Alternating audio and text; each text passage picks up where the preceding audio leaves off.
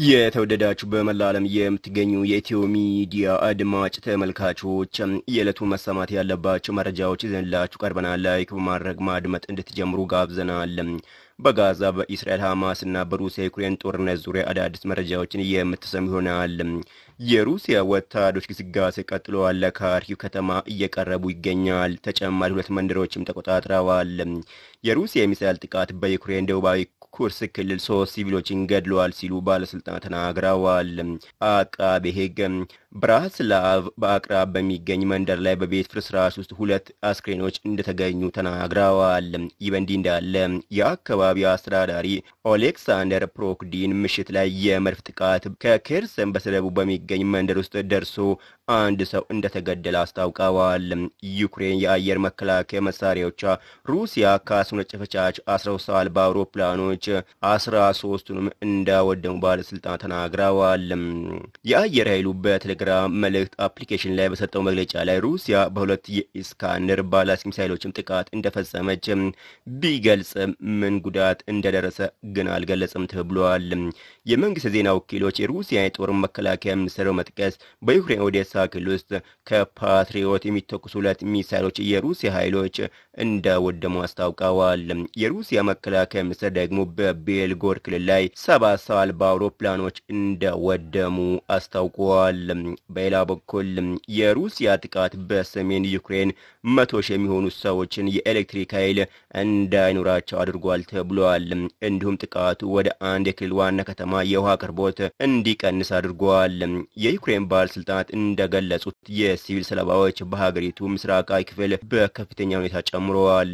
የሩሲያ ጥቃት አርብ መገባደጃ ላይ የኃይል ማመንጫ ተቋማትን ካበላሸ በኋላ ሩሲያን የሚያዋስነው ሰሜናዊ ሱሚክል በጨለማ ውስጥ እንዳለም የዩክሬን የኃይል ሚኒስቴር ገልጸዋል። ወደ ጋዛ ጦርነት ስናልፍ በጋዛ ከተማ ምስራቅ የሚገኙ ፍልስጤማውያን አካባቢውን ለቀው እንዲወጡ እየተደረጉ መሆኑን አልጄዚራ ዘግበዋል። የኢስራኤል ወታደሮች ወደ ቱፋ ዳራጅ እና ኦልድ ሲቲ አካባቢዎች አፋጣኝ የመሰደድ ትዕዛዝ ከተነገራቸው በኋላ ፍልስጤማውያን ከጋዛ ከተማ ምስራቃዊ ክፍሎች እየሸሹ ይገኛል። በሌላ በኩል ኔታንያሁ በጋዛ የተኩስ አቁም ስምምነት እንዳይኖር እየሰሩ ነው የሚል መረጃ ወጥተዋል። የኢስራኤል ጠቅላይ ሚኒስትር ቤንያሚን ኔታንያሁ ኢስራኤል በጋዛ ዘላቂ የውጊያ ማቆም የሚያስችል ስምምነት እንዳይመጣ እየሰሩ ነው ተብሏል። የጦር መከላከያ ሚኒስትር ዮአፍ ጋላንት ደግሞ ኢስራኤል በጋዛ የጦርነት ማቆም ስምምነት ብታደርግም እንኳን ከሊባኖስ ከሂዝቦላ ጋር መዋጋቷን ትቀጥላለች ብለዋል። ይህ በእንዲህ እንዳለ የኢስራኤል ወታደሮች በጋዛ ከተማ በተባበሩት መንግስታት ድርጅት ዋና መስሪያ ቤት ላይ ጥቃት ሲፈጽሙ መታየታቸውን አልጄዚራ ዘግበዋል። የኢስራኤል ኃይሎች በጋዛ ሲቲ በሚገኘው የተባበሩት መንግስታት ድርጅት ዋና መስሪያ ቤት ወታደር እርምጃ እንደጀመሩ ተገልጸዋል። ሰራዊቱ በሰጠው መግለጫ ደግሞ ከዚህ ቀደም ሐማስ በዚህ አካባቢ ሲንቀሳቀስ እንደነበርና በርካታ የሐማስ አባላትም በጥቃቱ መገደላቸውን እንዲሁም ከህንፃው ስር የሚያልፈውን ዋሻ እንዳወደመ ተናግረዋል። በዚህ ወቅት ወታደሮቹ ሰላማዊ ሰዎች በድምፅ ማጉያዎች አማካይነት ከአካባቢው እንዲወጡ ጥሪ እንዳቀረቡ ተገልጸዋል። በተጨማሪም የኢስራኤል ወታደሮች በጋዛ ደቡባዊ ከተማ በራፋ ከሰላሳ በላይ የፍልስጤም ተዋጊዎችን ገድለዋልም ተብሏል። ጦሩ የጦር መሳሪያዎችን እንደወረሰ በግቢ ውስጥ ያሉ ቁጥራቸው ያልታወቁ ዋሻዎችንም እንዳወደመ አስታውቀዋል። በጋዛ ከተማ ሹጃ አካባቢ ጦርነቱ ከአንድ ሳምንት በላይ ሲቀጥል በርካታ የታጠቁ ተዋጊዎችም ተገድለዋል።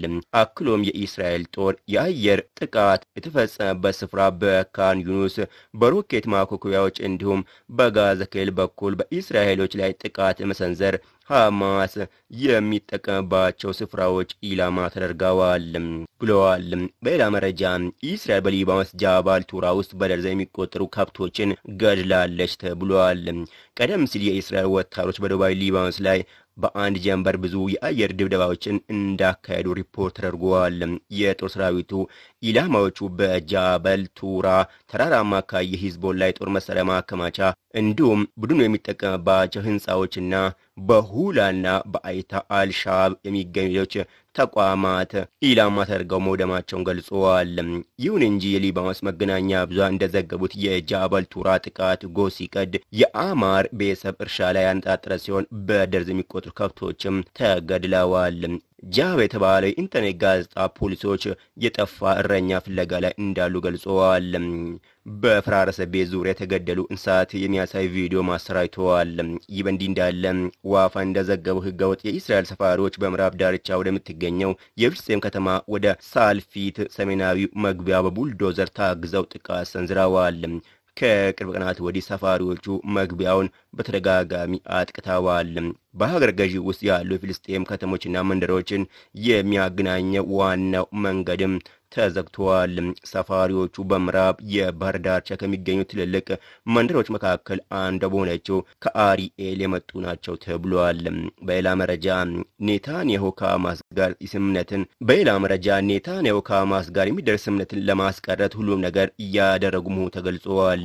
በኢስራኤል ፖለቲካዊ ውስጥ ያሉ አንዳንድ ባለስልጣናት ኔታንያሁ ከሐማስ ጋር ለድር ለመቀመጥ ውሳኔ ከመደረሱ በፊትም እንኳ ድርድር የማይደረግባቸው ሁኔታዎች በዝርዝር በማስቀመጥ የጋዛን ጦርነት ማቆም ውይይት ለማጥፋት እየሞከሩ ነበር ብለዋል። ኔታንያሁ ከሚጠይቃቸው ነገሮች አንዱ የኢስራኤል ወታደሮች ወደ ጋዛ እንዲመለሱና የጦርነት ዓላማዎች በሙሉ እስኪሳኩ ድረስ እንዲዋጉ መፈቀድ አለበት የሚል ነበርም ብለዋል። ይህ በእንዲህ እንዳለ ኢስራኤል በፈጸመችው የአየር ጥቃት የሐማስ ከፍተኛ ኃላፊን ገድላለች ተብሏል። ኢስራኤል በጋዛ ከተማ በሚገኝ አንድ ትምህርት ቤት ላይ በፈጸመች ጥቃት ከተገደሉት ሰዎች መካከል የሐማስ ከፍተኛ ኃላፊ እንደሚገኝበት የፍልስጤም ምንጮች አስታውቀዋል። የአካባቢ ባለስልጣናት ለቢቢሲ እንደገለጹት ኢሃብ አል ጉሴን በጋዛ ከተማና በሰሜን ጋዛ የሚገኘውን የሐማስ አስተዳደር እንዲመራ የተሾመው ከሶስት ወራት በፊት ነው። የኢስራኤል ጦር በጋዛ ከተማ በሚገኝ አሸባሪዎች እያሴሩበት እና ተደብቀውበታል ባለው አንድ የትምህርት ቤት ህንፃ ላይ ጥቃት መፈጸሙን ገልጸዋል። ጦሩ በሰላማዊ ሰዎች ላይ የሚደርሰውን ጉዳት ለመቀነስ እርምጃውን ወስጃለሁ ብለዋል። የዓይን እማኞች እንደገለጹት ከሆነ ጥቃት ያነጣጠረው ከጋዛ ከተማ በስተምዕራብ ካለ ሆሊ ፋሚሊ ቤተ ክርስቲያን አጠገብ በሚገኘው ሆሊ ፋሚሊ ትምህርት ቤት ነው። በርካታ ቁጥር ያላቸው ሰዎች በህንፃ ውስጥ ተጠለው እንደነበር ቢቢሲ ለማወቅ ችለዋል። የአየር ጥቃቱ ታችኛ ወለል ላይ በሚገኝ ሁለት የመማሪያ ክፍሎች ላይ ያነጣጠረ ተገልጸዋል። በርካታ የሐማስ አስተዳደር አመራሮች ባለፉት ዘጠኝ ወራት ውስጥ ተገድለዋል። ባለፈው ኅዳር እስራኤል ፈጸመች አንድ የአየር ጥቃት ምክትል የባህል ሚኒስትሩና የህግ መወሰኛ ምክር ቤቱ ምክትል አፈ ጉባኤ ከሌሎች የመንግስት ሰራተኞች፣ ባለስልጣናት እንዲሁም ከፍተኛ የፖሊስ መኮንኖች ጋር ተገድለዋል። በሌላ በኩል ደግሞ የእስራኤል ጦር ነዋሪዎች ከጋዛ ከተማ ማዕከላዊ ክፍል እንዲለቁም ትዕዛዝ አውጥተዋል። የተወደዳችሁ በመላ ዓለም የምትገኙ የኢትዮ ሚዲያ አድማጭ ተመልካቾች የዕለቱ መሰማት ያለባቸው መረጃዎች በዚሁ ተጠናቀዋል።